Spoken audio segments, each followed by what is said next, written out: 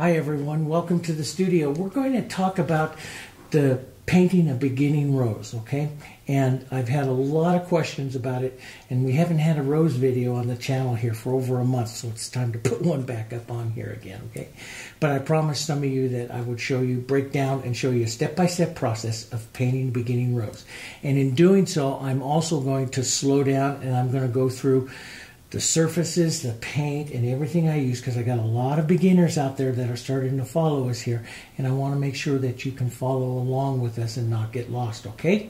All right, and I'm going to show you both in a pure acrylic version, and then I'm going to show you alla prima, or what we call a wet and wet version, that those of you that paint in oils, you'll be able to paint the roses that we do in your oils if you follow the wet and wet version there. And they're very different. The techniques I use are very different, okay? So the, if you're painting in oils, and that's a lot of questions I get, I paint in oils, can I do these techniques? Well, if I'm if any of my videos that say alla prima on it, you an oil artist can do those techniques.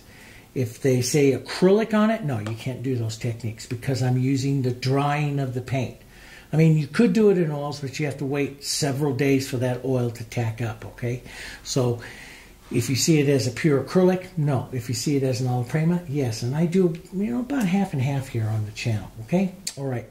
So let's talk about some of the stuff. First thing about our brushes. This is the Fusion brush. Fusion means the type of hair it is. It's a synthetic squirrel hair. It was originally designed for watercolor, but it's such a it's a soft, beautiful brush, and I use it because of its it is so very soft, and it also holds a tremendous amount because it was made for watercolor. I use two different sizes, two different types when I paint roses. This is the flat and this is the filbert. The filbert makes uh, roses that are a little bit more of a stroke. So these are stroke roses that I painted with the filbert. And so they carry the older decorative painting look to it. And you can see, uh, like here, I use a petal stroke that is made of three different strokes together to make a form of petal. I do a, uh, a, a medium length one, long length one, and then one that is right in between the two. That's how I build a petal.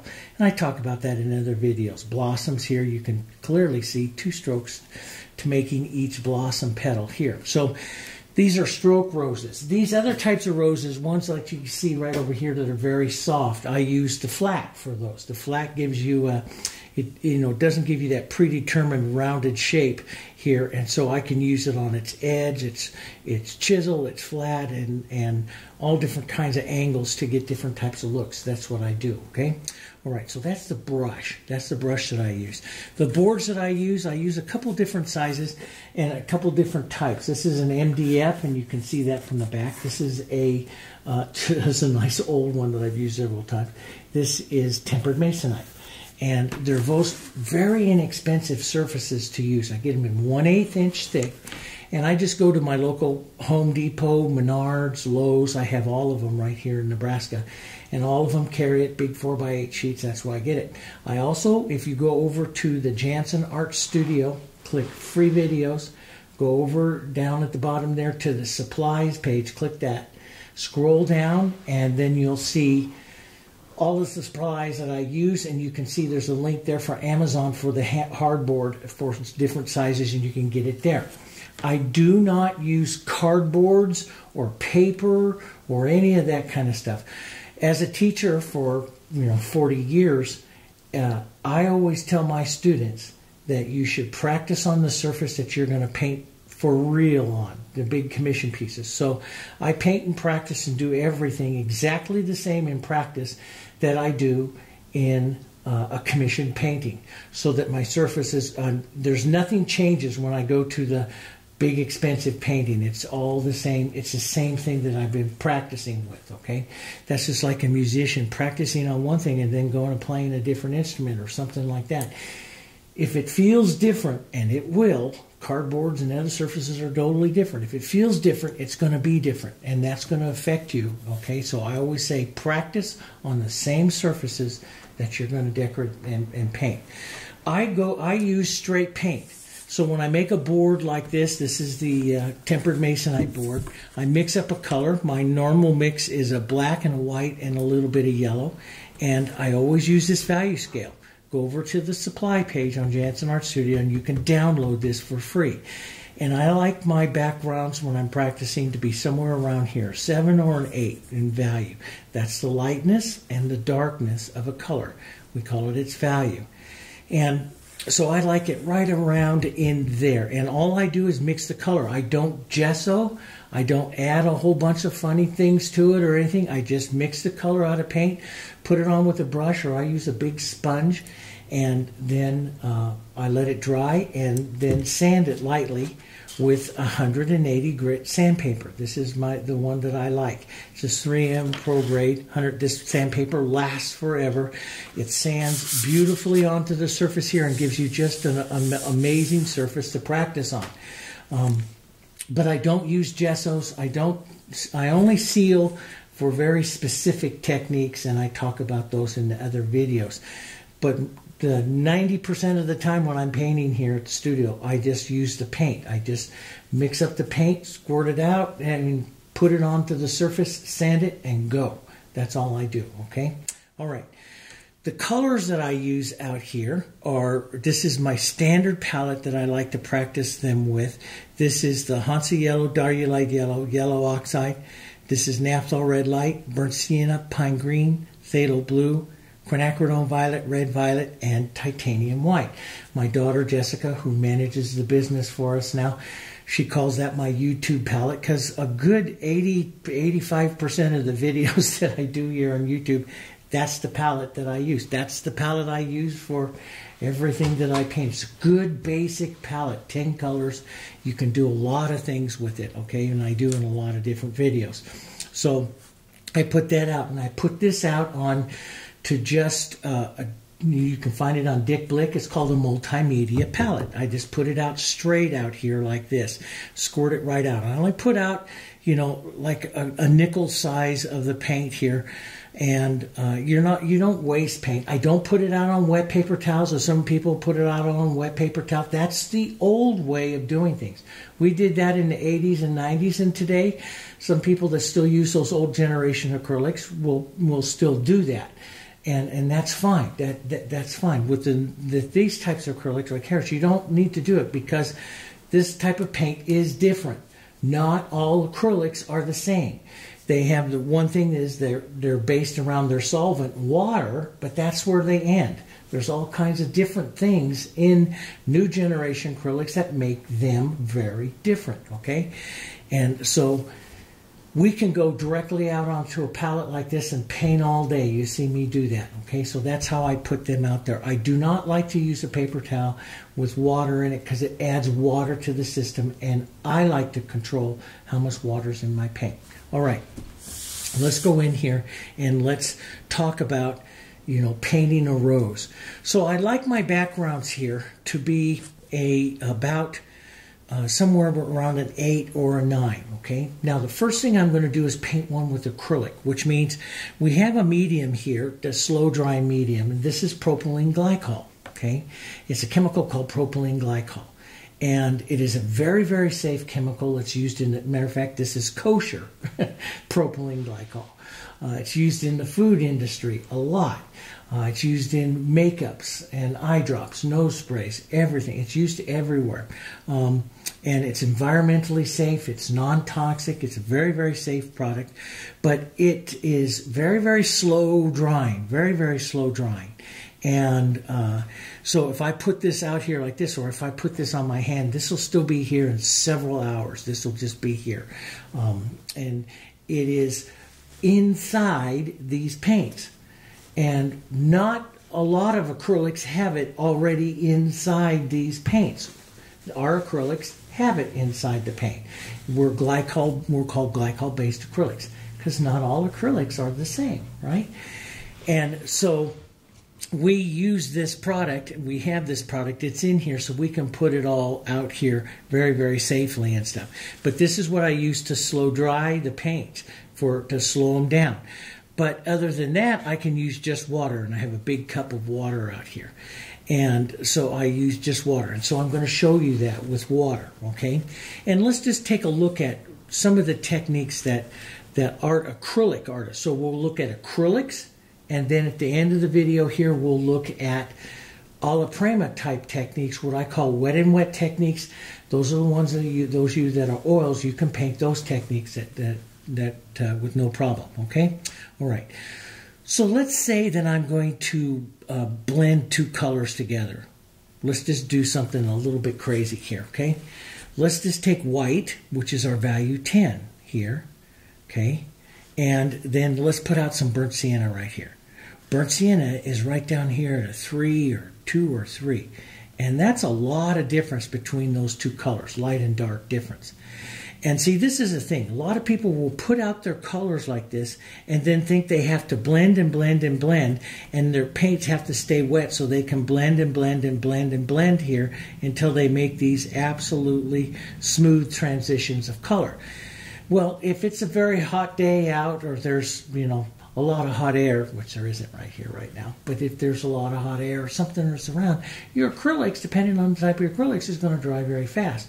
So blending is something that I don't do with acrylics, the, the old traditional wet and wet blending when I paint. I tone paint. And what are you maybe now you can see I can do it if I do very fast. But if I try to if I try to paint a rose with the acrylics, it's just going to dry real fast, and it's hard to get this blend. Um, and this you can already see is starting to dry up pretty quickly here. But the Heritage does dry a little bit slower than most acrylics because we're a glycol based acrylic. Okay, so it's this glycol, this stuff, is in the tube already. So we already dry slower. So you can do it, but it's not easy. But how do I paint with acrylics? I tone paint. So let's just go back to this. This is what I do is I pre-mix the color. So let's say take the white, okay? And then over here, we're going to take some of our burnt sienna and I put that down, burnt sienna here. And then what I do is I make an intermediate tone. So my white's up here to 10 my sienna's down in here. I need somewhere right around a six. And this is how I, I, I, do acrylics is I'm a tone painter with acrylics. And so I need somewhere right around a six and I drop that tone in right there like that.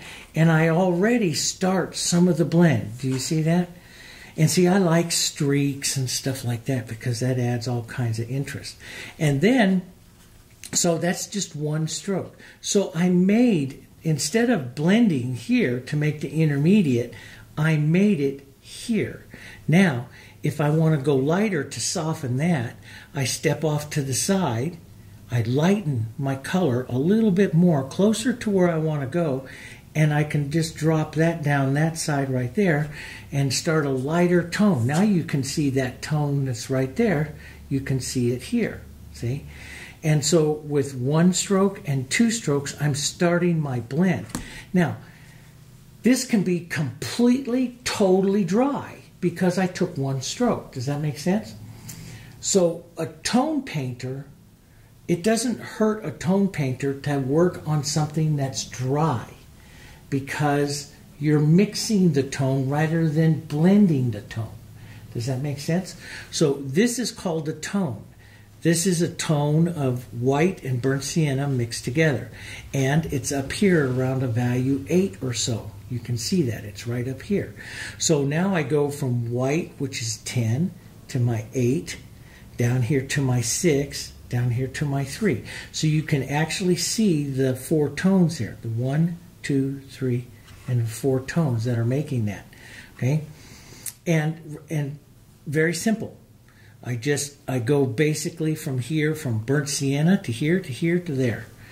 And that's how I paint. So when I go paint a rose, and which I'll show you here in just a second, when I go paint this rose, I go through the tones, through the scale like this with acrylics, letting the rose dry, okay? And that's how I do it. Now I have different rules for different types of roses and all that kind of stuff. But I'm a tone painter. I look for the tone and not for the blend when I work with acrylics. Does that make sense? Okay. Now, we can slow it down. I'm going to show you and do it. And you can slow it down and do a blend and a tone at the same time. I'll show you all that. There's a lot of possibilities. But let's paint a beginning rose here now. And let's run through some rules and let's paint it tone. Let's paint it a tone, acrylic tone technique, beginning rose. Okay? All right. So the first thing I always say to everyone when you're going to paint a rose, don't paint a rose any larger than your hand. Matter of fact, I'm going to work with an 8 brush, so it's a lot smaller here. And one of the reasons why, when you're practicing, is so that when you're working, you're not reaching too far like this. And the farther you have to reach, that's going to make your rose stiff. So keep your roses small, okay? Start out keeping your roses small, about the size or so of your hand. And always say, make a rose about a circle. And uh, it can be a circle and oval. I show you all different kinds of ways to do it, a circle and an oval. Now, the rose is three parts. Basically, it has three parts when you look at a rose, okay?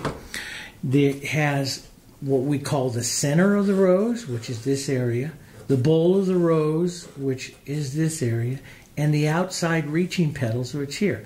So if you look at this rose here, here's the bowl of the rose right here.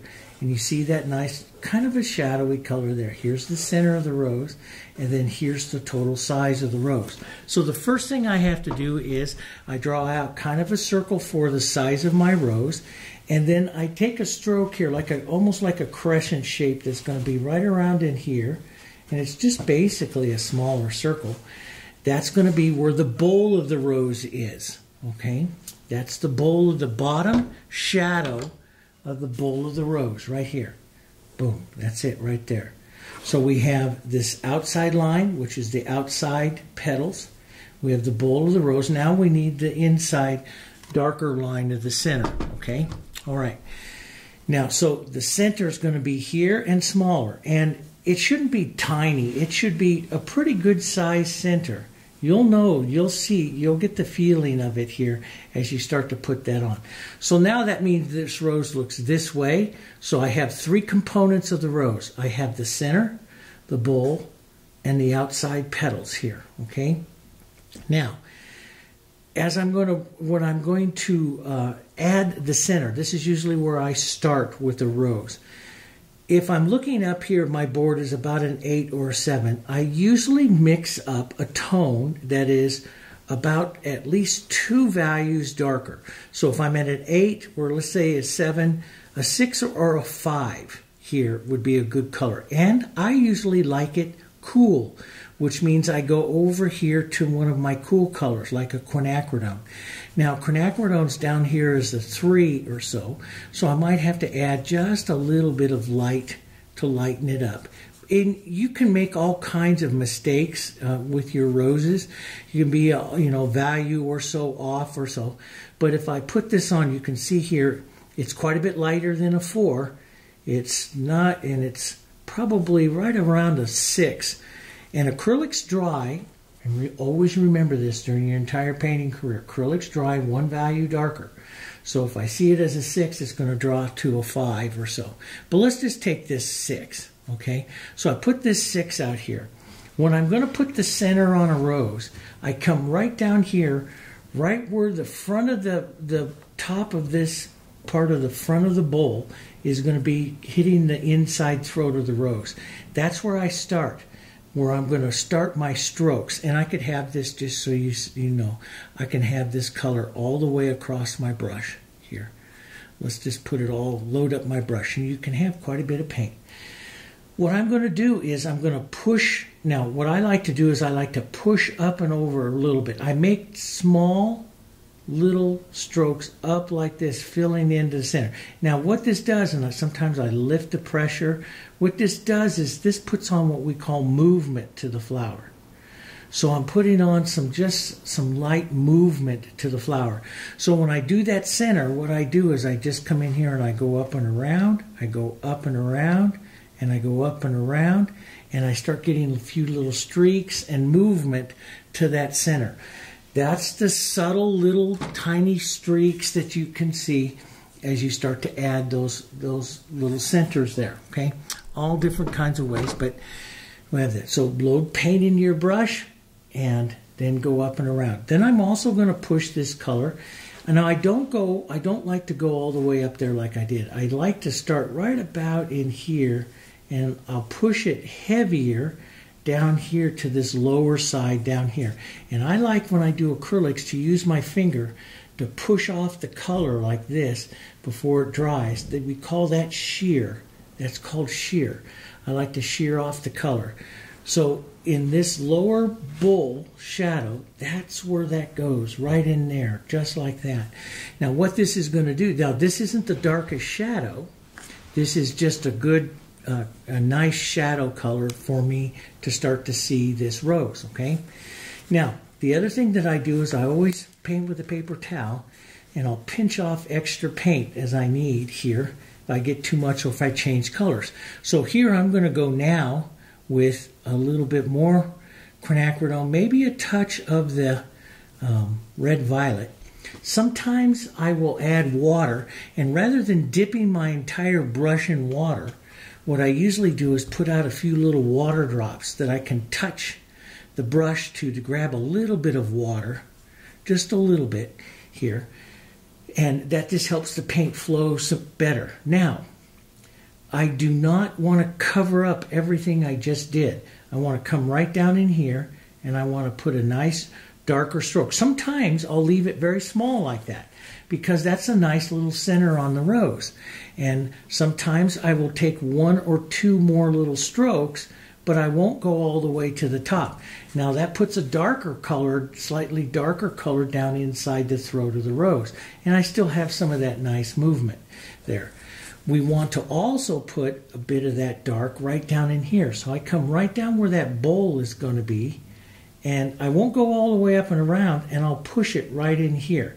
Now this is acrylic and it's got water and it's going to dry really fast. So, you know, usually what I'll do is I'll put on the stroke and I'll push it off. I'll shear it off here like this. And let's just add just a touch more, a little water, a little more paint. Push that off into there like that again. And sometimes I'll let that dry. Sometimes, you know, in some in some of you very hot areas and stuff, it'll dry pretty quickly, and uh, you know, but before it dries, I try to shear it off. Okay, but let's say that that you put this on here like this, and we'll we'll kind of let that dry here for a minute. Okay. And because some of you that are working with all, there's all different kinds of acrylics. Again, all acrylics are different, okay? This technique that I'm going to show you now, a lot of acrylics won't be able to do it, it because a lot of companies put in a, chemo, a thing, we component we call vinyl, which makes their acrylics very flexible, and it's a great thing to have. But it hurts a lot of what I'm going to do now. So some acrylics are going to be able to do it, some acrylics are not going to be able to do it, and it's what I call a solvent. Take a solvent. So as this starts to dry and, and stuff here, you won't be able to shear that off anymore because it gets it dries pretty quickly and it's still a little wet right there and there. But right up along that edge, it's dry. But with the Heritage, for about two hours or so, you can, let me just rinse the brush here for a second. You can take this and use just water, just a little bit of water, and you can go right over that edge there and blend it back out here. So see, I can touch that and blend those together like that without a problem. And I can use my finger to push it, to soften it, to, you know, to do whatever I want to do with that. That works for about two hours or so with the Heritage. Some acrylics are going to be able to do it. Some won't be able to do it. It all depends on their formula that they have. Some are not made, some acrylic companies are made to dry, like I say, very fast, very hard, so you can't do that with. But with the Heritage, you can do that. So if I wanted to just take some water right up here and push it right into this flower up here and then just soften that out, you see I can still blend that all out there and soften it all out, okay? So I have lots of time to do that. That's the big thing. So I have lots of time I can do that. So that's basically the shadowing of the three parts of the rose that I do with the with the shadowing. And really this starts to look like a rose. See if I just took some soft color. Now see how this is this is dry because I mixed it a little bit ago. But let me show you. I mean this is dry. This is dry on the palette, right? So in extender, if I put extender, like I just dripped my tip, my brush here in extender. See how extender won't do anything to it. Extenders only work when the paint is wet. When the paint is dry, extenders don't work. Glycol does not work. You have to use water.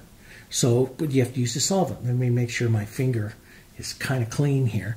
Let me just take out a little bit of water. Now watch what happens, because water is the solvent, right? So I come over here, I put my finger in some water, and I touch this over here, and up will come the paint. And the paint will move again, and the paint will reconstitute and do its thing. Okay? So as this dries over here, if I come over here and touch my finger into extender, and I put extender over here, it will do nothing to the rose. Does nothing. Extenders don't work when the paint is dry, but water does because water is its solvent. So I'll put a little water on my finger and water will move it. See? Water moves the whole thing here. Boom, I can take that whole thing off, soften it off, and work with it. Depending on your acrylics, you can do that and soften it all off and do whatever. So the main thing I want to see as you are working with glycols or water, water's the solvent. Water can cut through the paint even when it's the heritage, when it's dry, but it does not always work um, with all, that technique does not work with all acrylics. It all depends, okay? It all depends.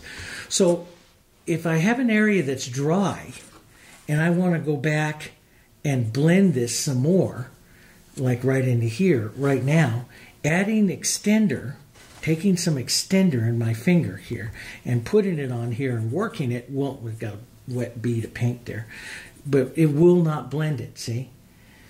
But if I clean my finger here again, grab some water, and I push, let's see if we can blend off these things even after they're dry here, we'll blend those two colors together there. Just push a little bit. See how the edge is disappearing, how they're blending together. Right there like that.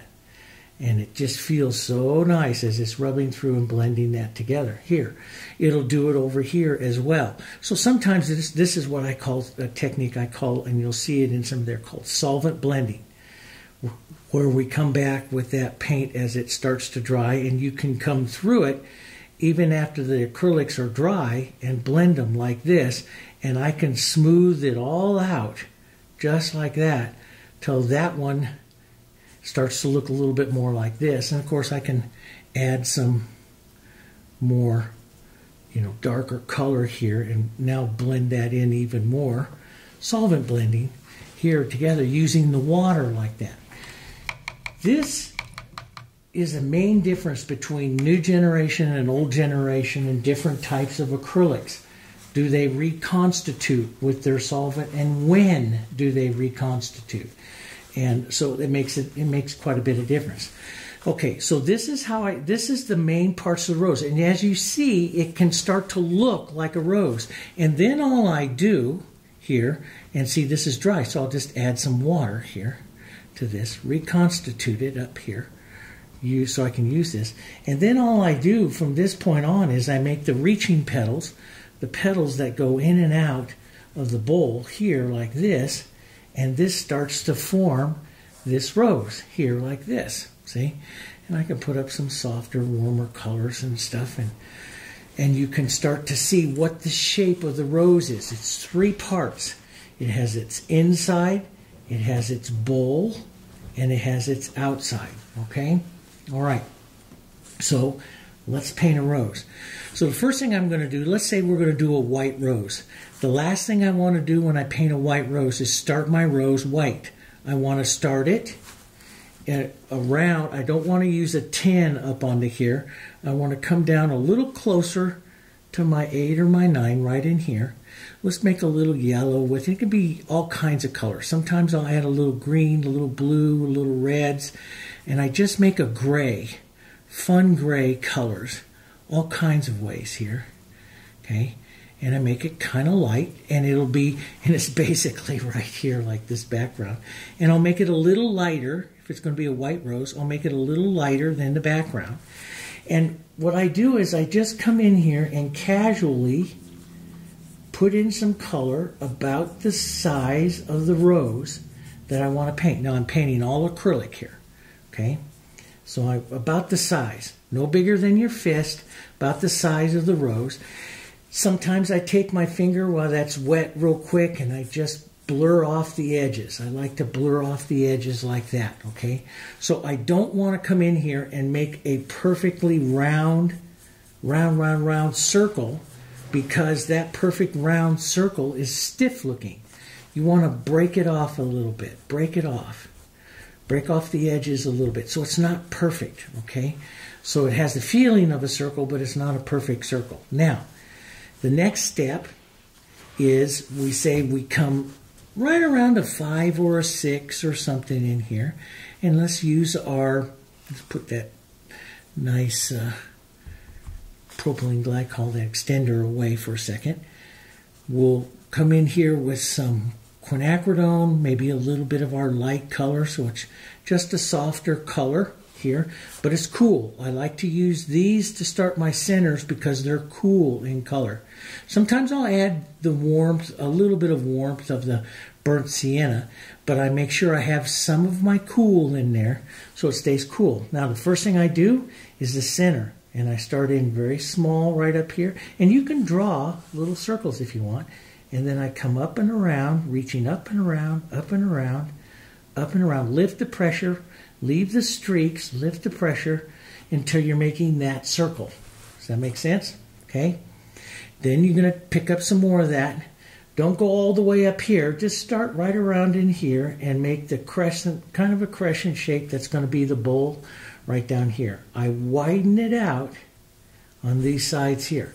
And then I shear it off, push it off here.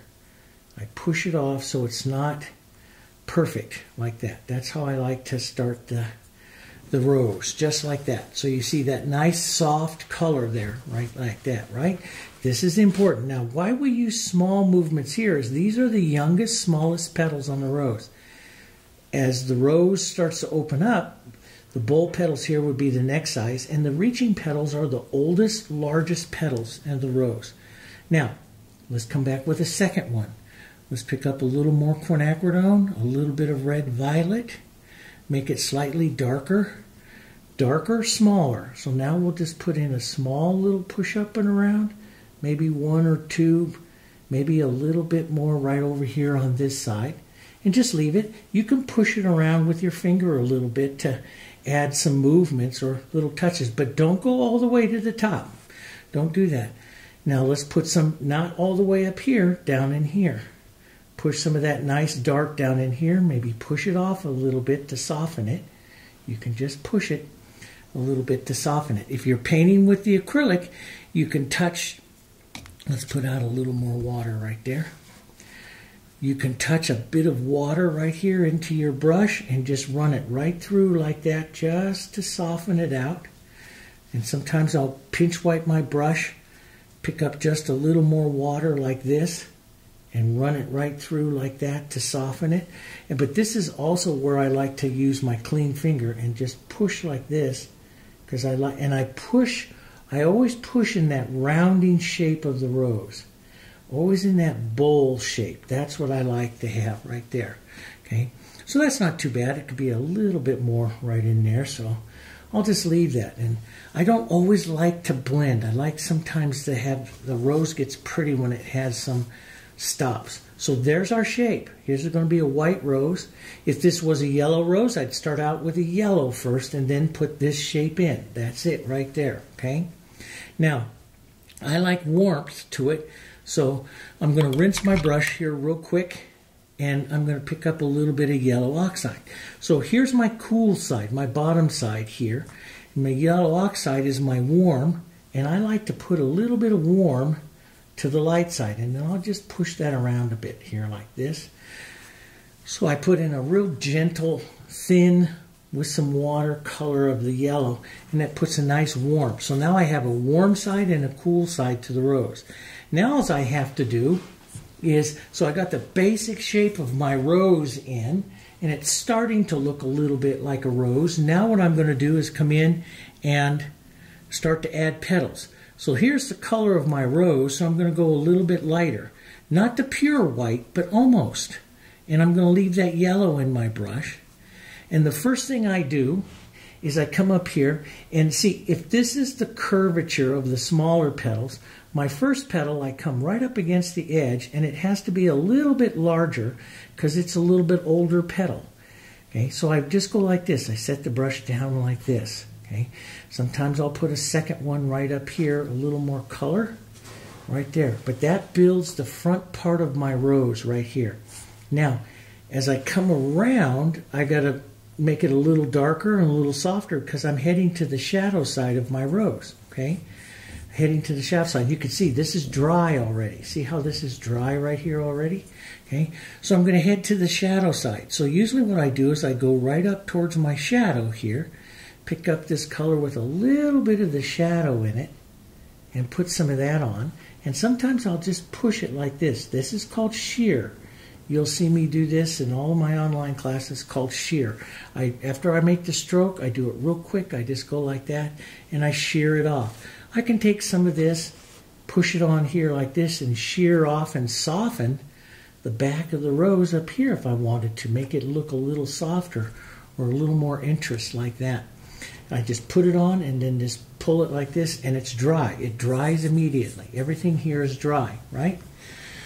So you heard me say immediately uh, in this when I paint with acrylics, I am a tone painter. I am not a blender, okay?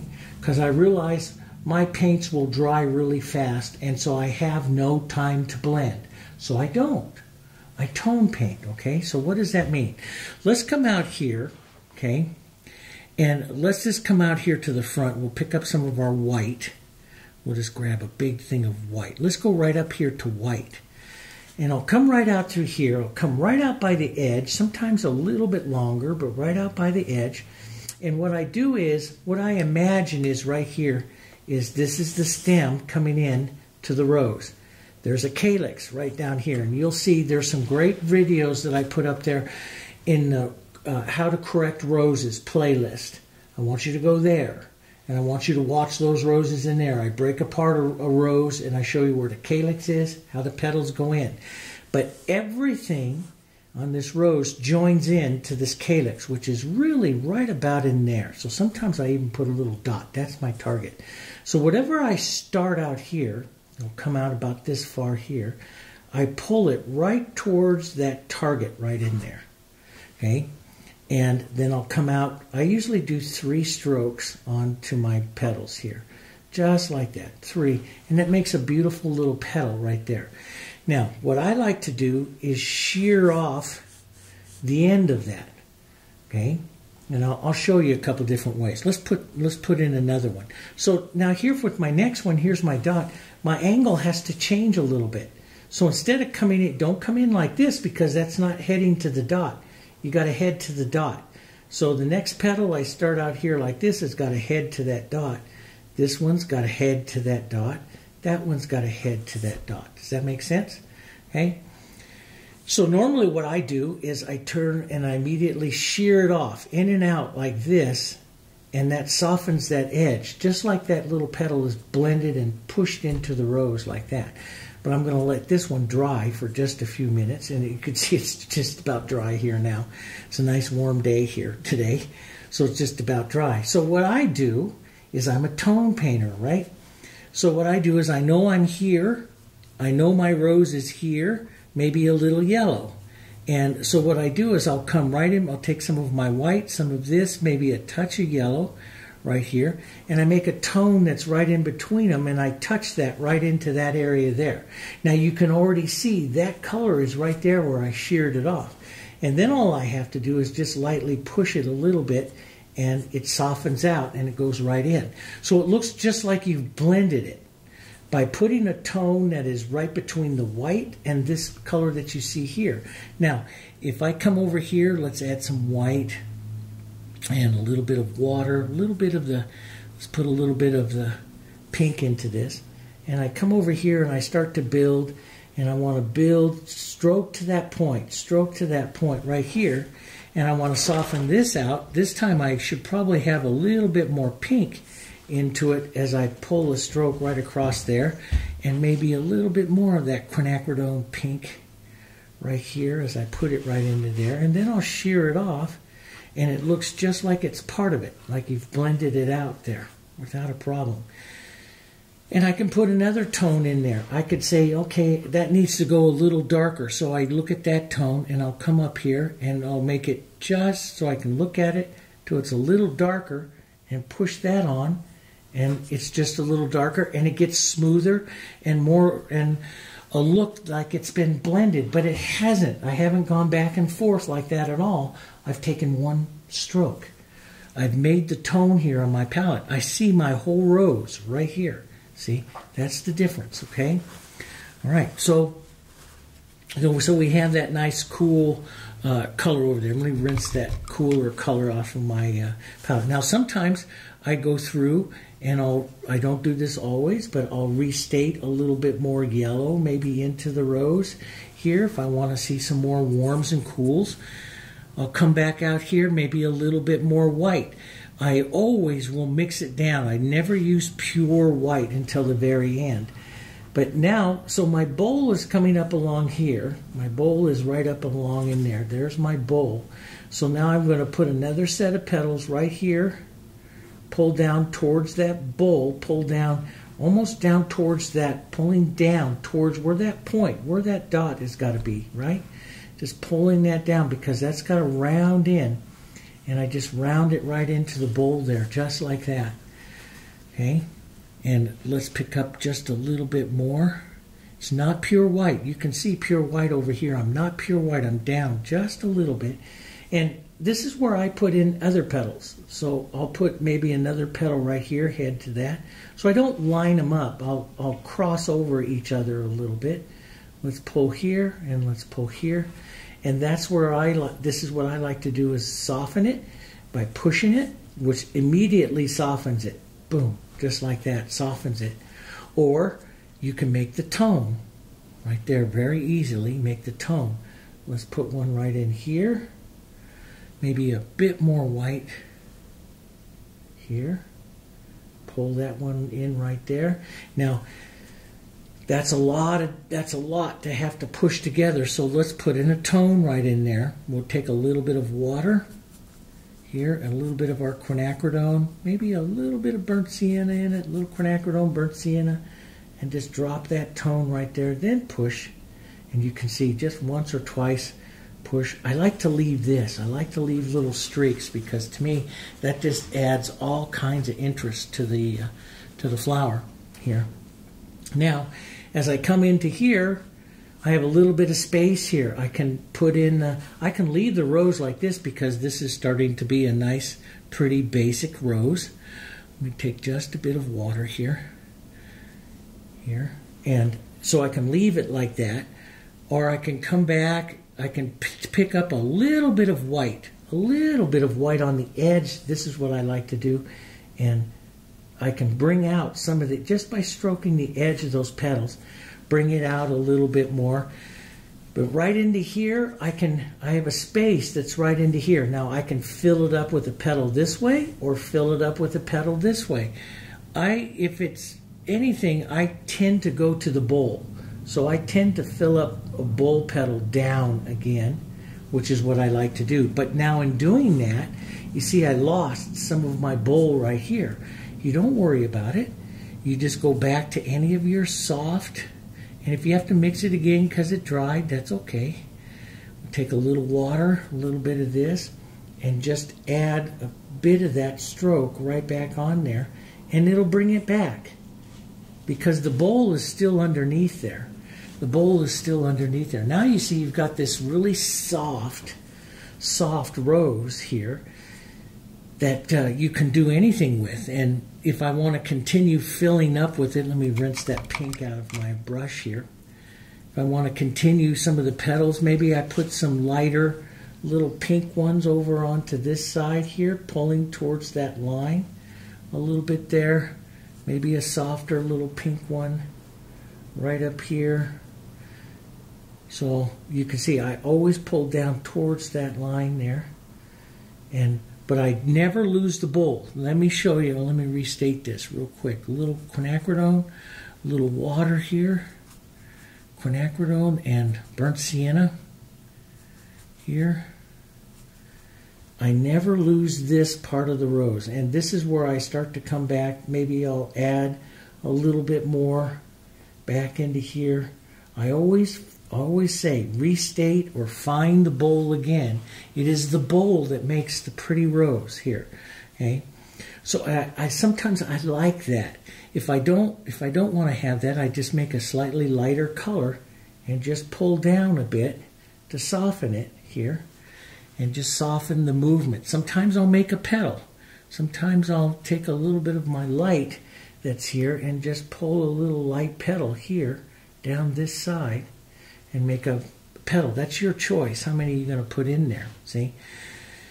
And this is usually what I like to do. And I always do what I call a, um, a with my beginning students, I do what I call a 221 uh, type of rose. What that means is two layers of two layers of bold petals, two layers of light petals, and then what I usually do, what I like to do is I'll take just a little bit of a light color here. So maybe even put your bold color in your brush, pick up a little bit of the light on the edge, and you can just use the chisel of the brush, just the chisel, and you can pull a little chiseled line down like that, and that gives it the look of another little petal right there, just like that, without losing the petal or feeling of the bowl. So it kind of fills it up a little bit there. But see, the, the main thing that makes it a rose is not all the petals, it's this. It's your shadowing here that is going to make it a rose, okay? So don't ever lose your shadowing. The shadowing is the most important part, okay? Now, I can come back and I can add a little bit more color here, stroke them again, add a little bit more. Um, let's put a, a bit more of a white here, okay, right up into the very front up here. So sometimes I'll come back and stroke again, building more opacity, more opaqueness to my colors, you know, adding the, the look of another little petal or something like that.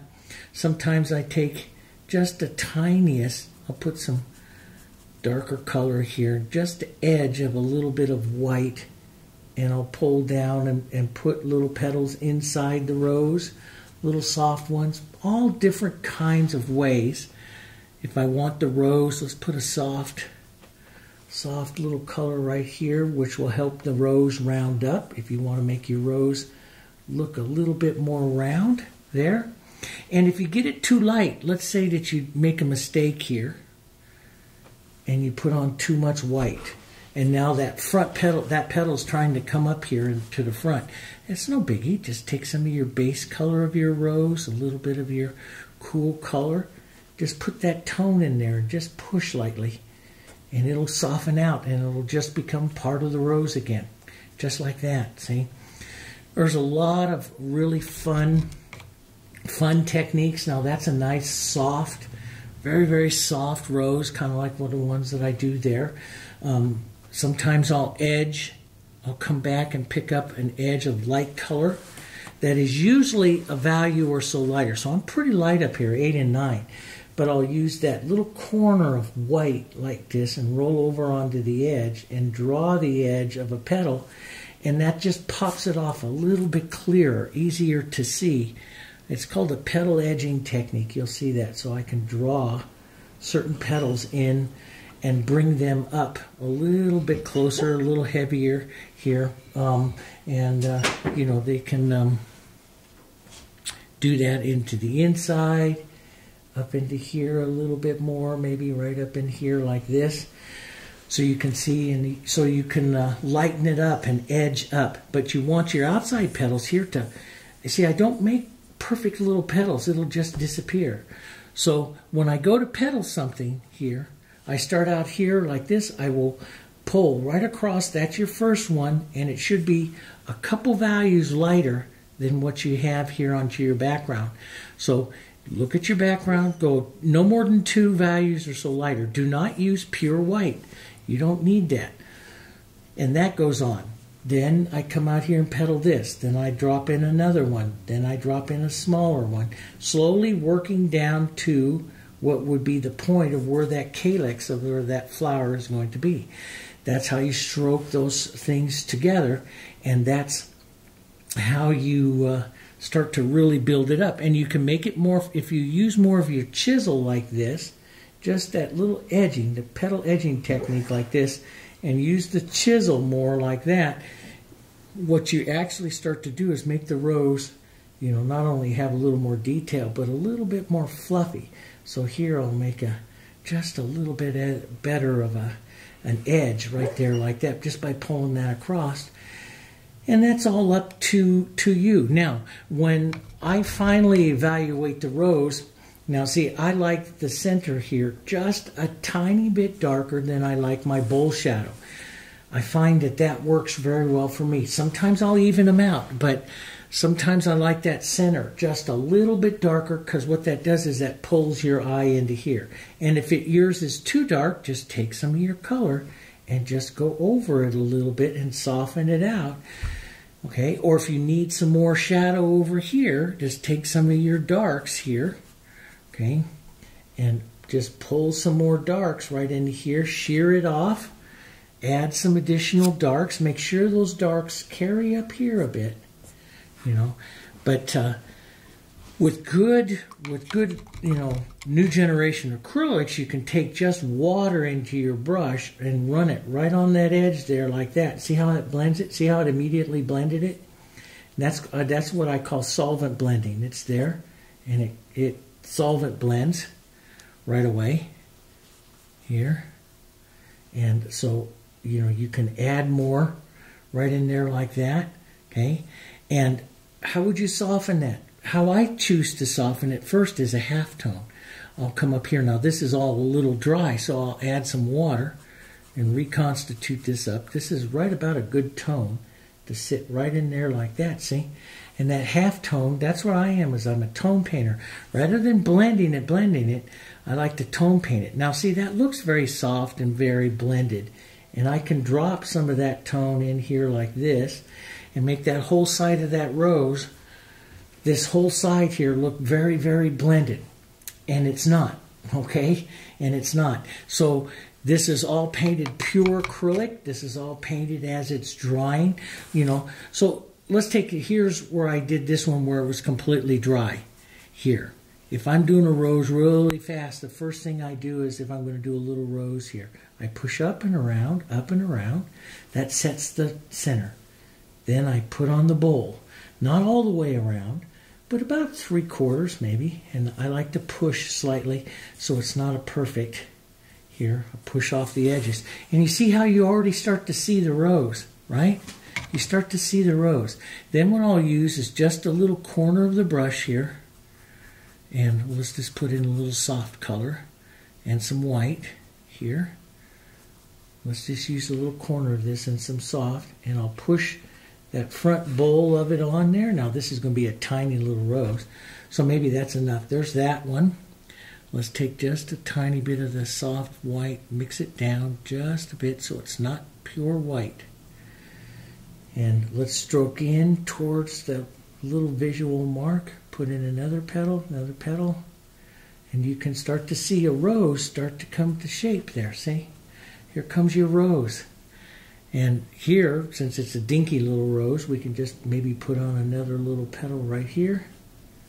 Here, push that around. And just leave that as a little rose, maybe a little light petal. There's a thousand different ways you can do it. But see, you can make a nice little rose. But what really makes the rose is these shadows, those shadow components, okay? All right, let's try one wet. Okay, let's try one where it'll stay wet the entire time, the entire painting process. Matter of fact, with a Heritage like this, it'll stay wet for a couple hours. And you'll see me in other videos do that.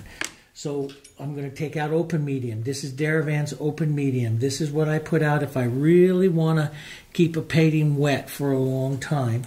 That and the extender, the extender medium. Now, what's the difference? Extenders are thin these are very thin, almost just a little thicker than the consistency of water.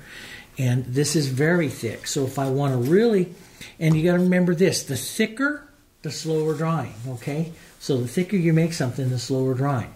So let's start out by how do I go about painting alla prima, or for you, those of you that paint in oils and stuff doing that? I start out with a thin color this time.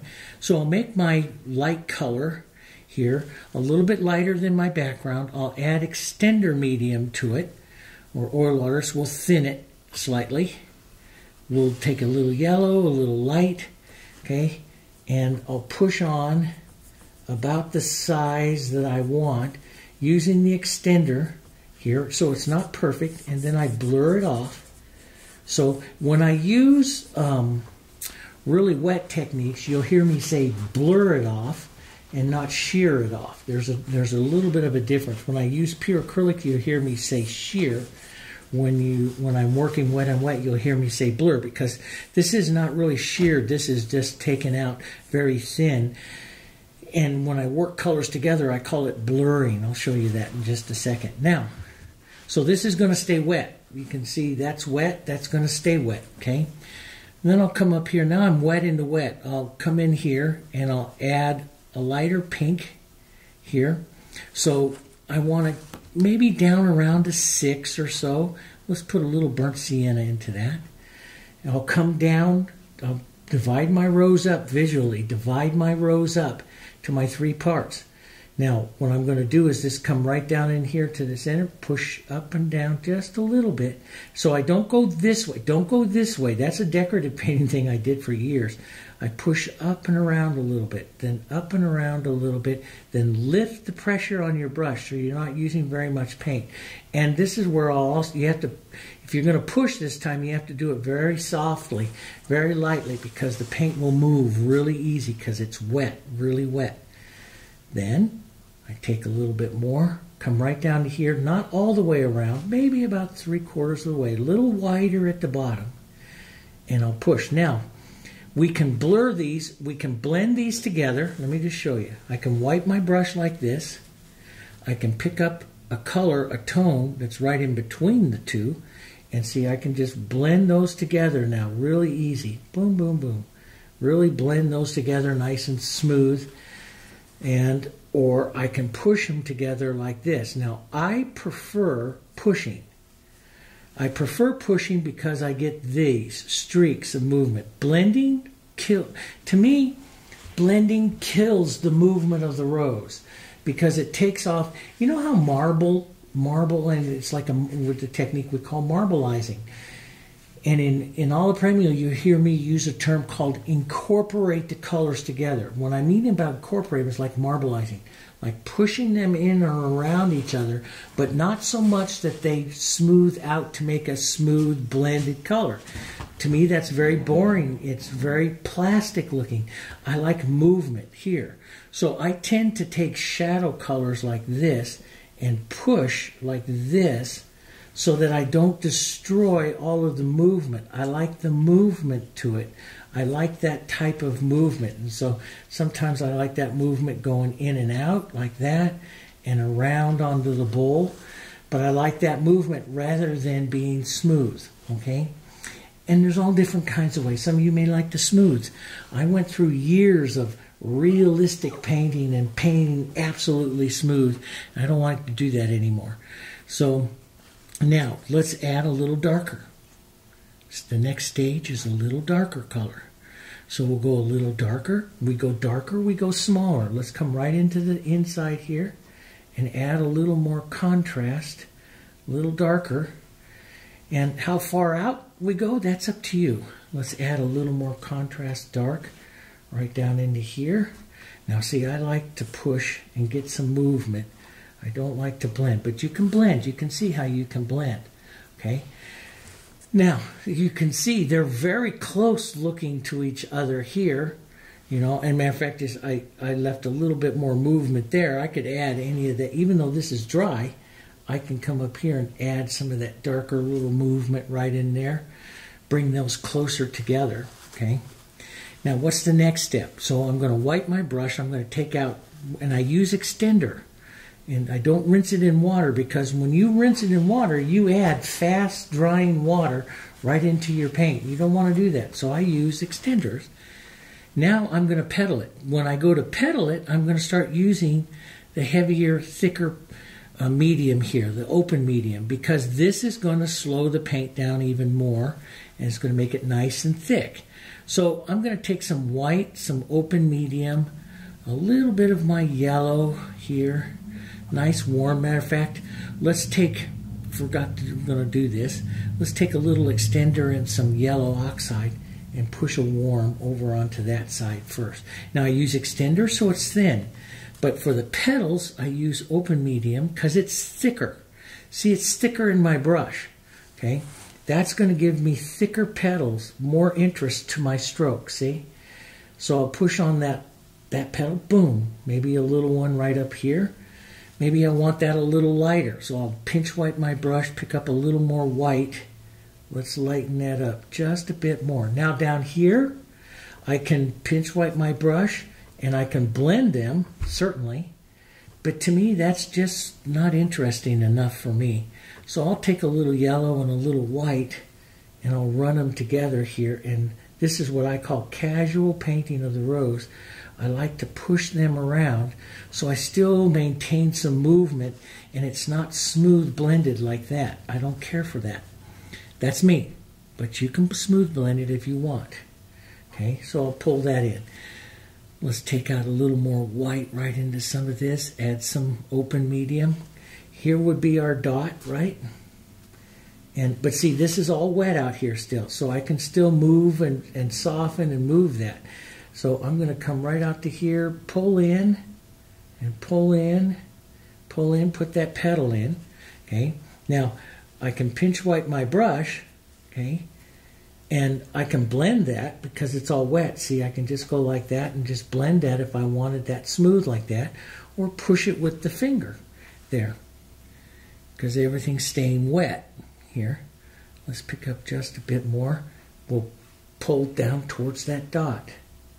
Pull down towards that dot. Let's put this bigger petal on, maybe a smaller one out there. To soften that right in there, to soften those together. See, this is where I look at that tone. It's more yellow. So I pick up a little bit of yellow and I just run it right next to it, right like that. And not too many times because you lose it, but you can see how, boom, blends right there, just like that. So oil painters can do that really easy. You just take that yellow back in there and just go boom, right like that, push that in. Or if to soften it, do that and work back and forth a little bit till you get some of the movement that you like to have in there. I like little tiny strokes of movement and stuff. So I'd like to have a little more yellow right there and I'd put it in, maybe overstroke the light color one more little time there like that. There's a thousand ways to do it. But again, we're starting out with that same structure. Let's come out over here. Let's put in one, turn the brush slightly, as it's always got to head towards that center. And if I wanted to put any over here, maybe a little more pink, as I pull in this side over here. Sometimes I put this side over there, sometimes not. I'll push a little pink right into that. See, I like that movement. That's that's what my rose is, you know. And we have a, a lot over on our group, our Heritage artist uh, group, acrylic artist group, and stuff. We always talk about finding your own style, making your own, you know, your own way. Especially if you start using your finger and using your way, you're going to add your own style to it. Does that make sense? You're going to make your own particular style to a rose, you know, so you can have that. All right, so maybe a little more pink here. And we'll put in a lighter pink side over here to the rose. I can push those all together. See, that's that is all that is see see see that all that rose is wet. That whole rose is staying wet here. I can push some softer little pinks back up here if I want to put some back petals around. I can touch, no, I like to use my finger a lot, but if you don't, then you just use it wet like this, the alla prima type techniques, using it wet. Now maybe I want to increase my bowl again. Many times in my books and videos and classes, I always say restate the bowl. Some at some point in time, restate that bowl. You always you want to keep that bowl. That bowl is the most important part of the rose. That's what keeps it round, going round. So you want to keep that bowl round and get some different colors in there. I love Diarylide yellow into that burnt sienna. That's such a pretty color in there, and that works so well, especially in a transition from the warm to the cool. And adding a tiny bit of quinacridone into that, right into there. See, look at those tones. Aren't, aren't those really pretty? Those just work so well in there. And see, that's what I like, to push them all together and everything. So now let's just take some of that tone here. Let's lighten this all up a little bit more. We'll add some medium to it. I'll come down here kind of to a clean spot with some of those tones in my brush with some white and some medium here. And we'll come in here and we'll make the next larger petal up here in the front. I could be a little bit lighter. So I'll put a little more white into it here. How do you soften that? Well, I can pinch wipe my brush off like this. And so since everything is there so wet, I can follow the curvature of the bowl. You could just follow the curvature a couple of times and blend those together. And you can do that. I like to push with my finger, again, because that just adds interest. But there's all different kinds of ways. Let's come out here and put a bit of that light right out here. Okay. And this is the thing, you see, like this rose here, it's all dry. This one here is all wet. You can see that just staying nice and wet here. And it'll be wet for several hours. So, and you can work it. So, but you can see, you can paint a pretty rose here you know, just like it, give it the look of an oil and stuff and a wet in the wet, alla prima type of technique, but using the acrylic. And I like the acrylic because I like it to dry on me. Sometimes they get into here and you go, oh, and the paint starts getting so thick. How do you get rid of that? And it, it's hard. Now, how do you soften that in there? See, if I go in there and blend, I can a I can make it soft, but I'll start to lose all that tone in there. So usually what I do when I'm doing alla prima, and you'll see me in those lessons, is I'll put a little bit of that soft tone into here and just pull right through it lightly, like like that, and then push just a bit, and you can see I can incorporate it and not lose that tone. And I'm very careful when I paint, not to, sometimes not to lose my tones when I'm making all these different colors. That's what makes your roses so pretty here, is when you start to develop these colors. Now I'm going to go almost pure white, just a nice stroke of it right up here. And make this rose a little different than that one. You could do the same thing and chisel here. I'm going to build up this front just a bit. Now, I start to lose. Let me show you a nice, wonderful wet in the wet technique here. So I'll take some of this thick white and I'll push that right up there like that. But I've I've killed the bull, the bull shadow, which is what I said was the most important. So I lift like this, and so I and now I'm going to set my brush down and lift off the excess paint. Boom. See? So and then I'll pull some of it down, lift some of it off, pull some of it down again until I start to soften the rose to get the look of that petal that I want. Maybe just a little bit down. So I preserve some of the front of that bowl here. A little bit of the light on the edge. Drawing that edge. Let's put, see, I put in just a little bit of that light. Let's draw in just a bit of an edge right there. Let's draw in a bit of an edge right here. So I come back and start drawing in edges.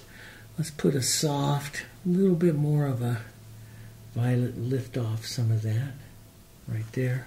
I'll go back and forth, and uh, but I don't. I, I like to leave the movement. Now let's. I love this color in here. Let's put just a little bit of that back up in here. See that nice little warmer tone with that cooler tone. I can take an edge. You know, we just edge. Let's just edge just a little bit here. Get rid of that on this side.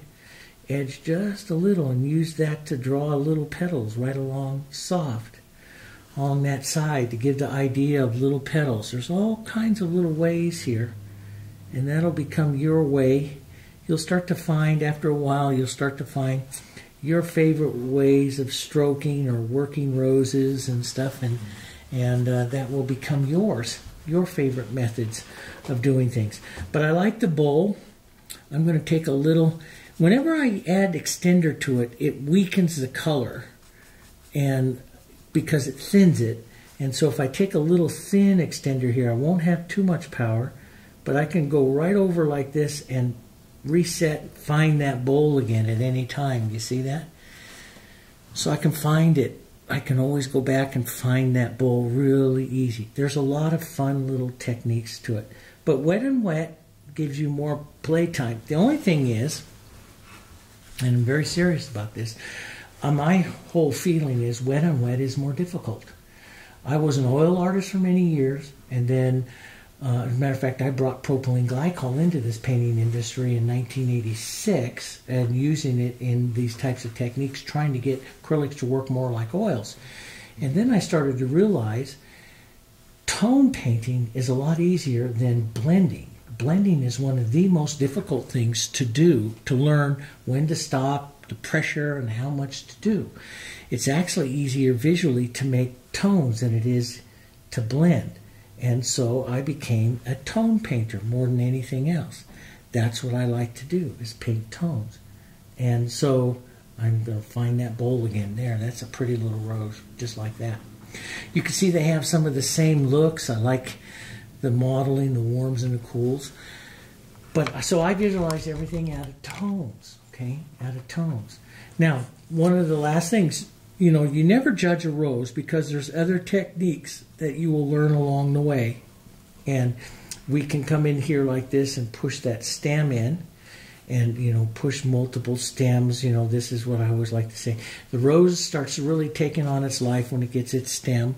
And the leaf, we won't go into leaves too much here, but I like to do leaves with pine green, burnt sienna, some water, some of my background rose colors here. And sometimes I do, there's other techniques I do what I call negative painting, where we paint right up against the edge of the rose. So we physically shape the rose here, like, so I don't have a shape of a petal there, but I could. I just use my background here, and I can shape or give the impression of the shape of a petal of a rose of the rose here by using the background here. So there's all kinds of other ways here, and we can do that with all of them. You know, that we can shape up and do all kinds of fun little things here with the roses. So here's a wet on wet, a dry technique. The most important thing about the rose, and there's a lot of beginning videos that I have, and I show you all different kinds of ways because, guys, there's a thousand ways to do this. And and there should be because it's art and it's creative and all of us are going to do it a little different. And none of it is super easy to do. All of it's going to take some practice. That it does, okay? It takes practice, it takes time, but boards are very inexpensive. The paint itself is very inexpensive. Uses higher quality products that you can use all the time so that you, you're learning the feel of them. Don't cheapen down just to practice. Use as high a quality, you'll learn and practice faster and with less frustration, okay, than if you use the products that you're going to be a professional artist with, okay? That's, that's my one recommendation. And you can paint all different kinds of pretty flowers. Remember, there's three circles, okay? The color gets darker, the area it occupies gets smaller. You'll study color theory or learn those things. All the classes that you take and everything that you do, you'll learn a little bit more and a little bit more, taking a little bit more of a bite into making that rose. And along the way on the journey, your brush is going to start finding its own way. And you've got to let that happen. That's where you start to develop your own technique for doing things. For so many years, I was I copied, and that was fantastic. I always encourage my students to copy. You know, there's a lot of artists out there that uh, do, that say don't copy, get out there and do your own thing. I I don't believe that. Okay, I don't believe that. I mean, you know, I'm a very logical, analytical, left side brained painter, right? You know, left side brain pilot. When the pilot, when my instructor said do this, I did that. That plane goes this way. That's how you learn, okay? You stroke a petal this way. This is what happens. This is the look that it gets. You learn that. You learn that through copying it until you fill up this nice library up here full of techniques and petals and different ways. And then they slowly will start expressing themselves in any way that you want to do it. But you have to, I'm a firm believer in copying. Copy copy for as long and get the ideas and build your library. That's how you do it. Okay. But uh, so that just is the basics of it. I have a lot of other beginning videos that I'll approach it from a little different way. And that's going to be my plan. And over on our Paint It Simply channel, I'm going to put a lot of different types of beginning types of flowers, different things, lots of different ways to approach the rose in different styles, beginning ways. They're all going to basically go with that three circles. That's going to be so important. Um, but I'll approach it a little different. So hopefully you hearing it this way and then hearing it this way and hearing it this way, it will all kind of gel together there, and um, you'll you'll find your your way of uh, you know of doing things. You know, in the last in the last couple of uh, in the last year, come on, in last couple videos, I think my dog here was the most. Uh, you are a good girl. I I think she's more popular than I am. So she's she's made a couple appearances. She's waiting. She knows it's the end of the video. You're a ham. You're a ham. She. Uh, knows it's the end of the of the end of the video here, so she likes to make her appearance. Yeah, and so do you, Callie. You so do you, her sister, the two girls here. So anyway, um, I will I will try to approach it several different ways for you guys, and uh, explain it all different kinds of ways. And like I say, you know, make some, you know, eh, write those comments, ask those questions. There is not a stupid question out there. I'm telling you, there's not. You know, um, I when I was learning, I was so afraid sometimes to ask a question because I didn't want to appear dumb or anything like that. Now, don't do that there's there's if you have it, there's 200 other people out there that have that question. Ask the question so we can film it, we can get the answers out there, so we can all get out there and start painting some really pretty roses with less frustration. There's going to be frustration, okay? But there doesn't have to be that much. We can help each other, okay? But we're going to do a lot on Paint It Simply channel, a lot of these other things, and help us out by liking and uh, sharing our channel and help us promote the channel, and we'll do a lot of uh, really, really, really great things out here, right? Right, girls? Yep. Okay. Thanks so much for joining me, and uh, landscape, landscape's coming next. I'll see you guys on. Uh, the landscape one, we'll try that. And yes, we go back and forth like this because you know, learning to use that brush and learning to paint that rose. You you practice roses, but you got to paint all this other stuff because your brush is a tool. And you learn how to use your tool different ways and you get confidence with your tool you can do anything. You don't learn how to paint absolutely beautiful roses by only ever painting roses. That's why i go back and forth between all kinds of other stuff. Plus after painting 25 or 30 roses it's nice to take a break and go paint a cloud but painting of clouds is going to give you an idea for a rose. It will. Okay? All right, guys. Thanks so much for helping us and supporting us in your comments. We really appreciate it. And we'll see you on the next one. And varnishing too, Kipper. We got to do varnishing. Yes, you do. Yes, we do. Okay. I'll see you guys.